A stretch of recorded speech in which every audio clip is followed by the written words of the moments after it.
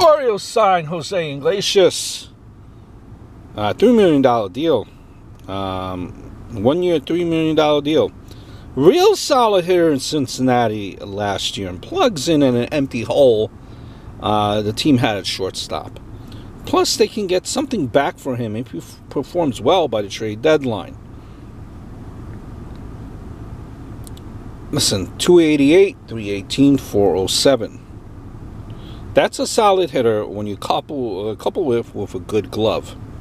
And if you bat him low, it isn't that uh, you know it, isn't it isn't that's not even bad at all. He's a he's a good trade chip too. Listen, 288, that's a solid hitter. Not everyone has to hit 330 in order to be considered a good hitter.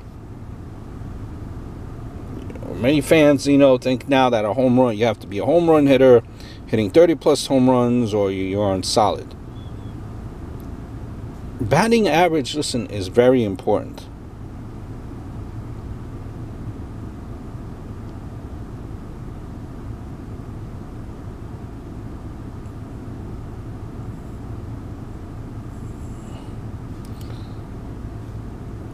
look, uh, I'll give you an example, right? Like Heyward out there in Chicago, hit 270 and 218, and it was considered uh, a bad hitting season.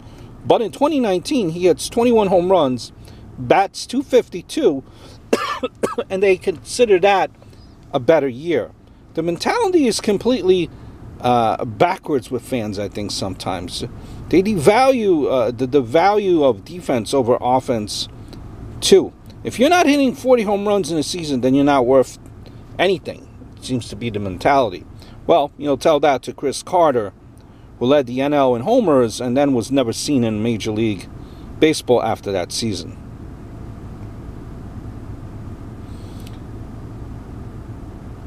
Listen, I would say that 318 OBP is is the weakest there. Uh, league average Last year was 323. So he isn't that much off that number and a, and a, and a, and a great defender.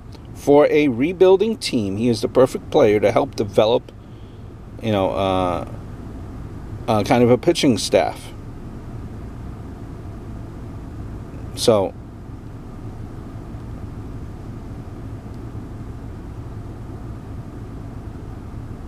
a player doesn't have to hit for power to be good. There are many Hall of Famers who don't uh, hit for power, such as Tony Gwynn, Ozzie Smith. Power, a lot of people thinks that power is what makes a great player. That's not necessarily the case. Just keep that in mind. Solid hitter in uh, in Iglesias. Hope all is well.